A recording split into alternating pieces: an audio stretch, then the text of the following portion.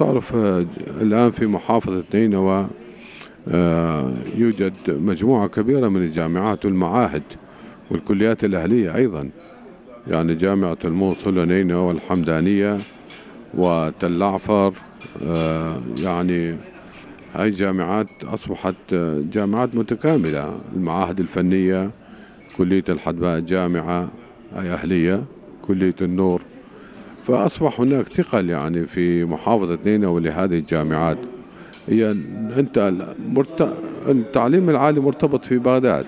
يعني لا يمكن أن تخطو أي خطوة من الخطوات ما لم يتم التنسيق مع الوزارة.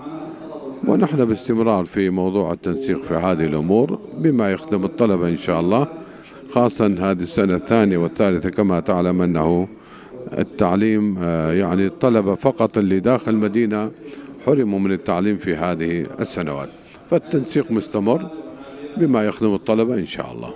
والله نحن لا علم لنا تعرف هذه الأمور نسمعها من الأخبار.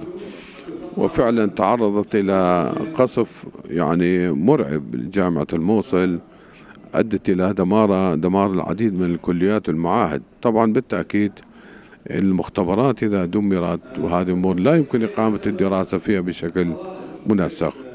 فلا علم لنا حقيقة بهذه الأمور بما أصاب جامعة الموصل يعني اللي الضرر اللي تحقق هو كله من القصف الجوي اللي صار. لكن بالتأكيد لا نقدر أن نقول أنه نبدأ بالعمل ما لم نطلع على واقع الحال اللي هو في مدينة الموصل.